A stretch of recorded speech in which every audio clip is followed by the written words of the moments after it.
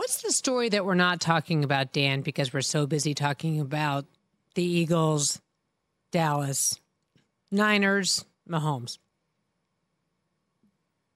Well, I think the NFC South is interesting because somebody's going to win and they're going to host a playoff game. I don't know. I mean, going to New Orleans, uh, somebody could lose in New Orleans if they host. Uh, Atlanta may be hosting a playoff game. I thought that coach's job might be in jeopardy. He could actually win the division and still have his job in jeopardy. Todd Bowles in Tampa could have his job in jeopardy. They could win the division. It's it's one of those that you you don't want to acknowledge the NFC South, but you have to. And I we've seen this before where you know teams with a losing record end up hosting a playoff game.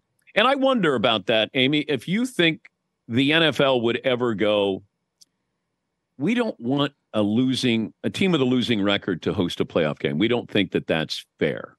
Um, you know, Dan, you see that? I, it's interesting that you raise that. And of course, there's a league meeting this week in, um, I think it's in Dallas, but irrespective of where it is, um, when you just asked that question, it reminded me of league meetings that I attended for almost 30 years and it was a subject of discussion. But the fact is, the way the league is designed, someone's going to win each division. And by the way, when I started in the league, there weren't eight divisions, there were fewer divisions, and the divisions were different.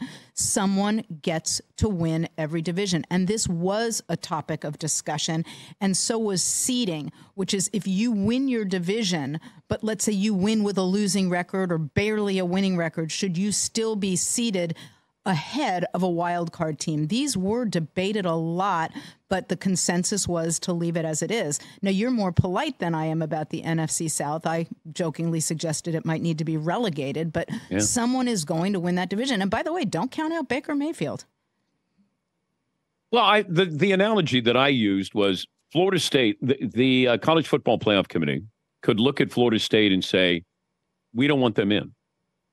And they left them out the NFL can't do that to the NFC South if that team has a losing record. Whereas college football said, that's a wounded animal there, maybe not the best team to be in the final four. We have control over that. The NFL has control over just about everything. But if they were the college football playoff committee, they they, they would probably say, you know what? Uh, we just came up with a new rule. the winner of the NFC South is not going to host a playoff game. And then we would go, sure, but with college football, we're like, how dare you do that to Florida State?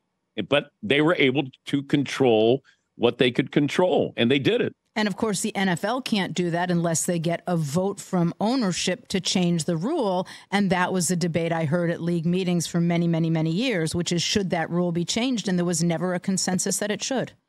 Check out new episodes of What the Football with Suzy Shuster and Amy Trask every Tuesday. Watch us on the Rich Eisen Show YouTube page or follow and listen wherever you get your podcasts.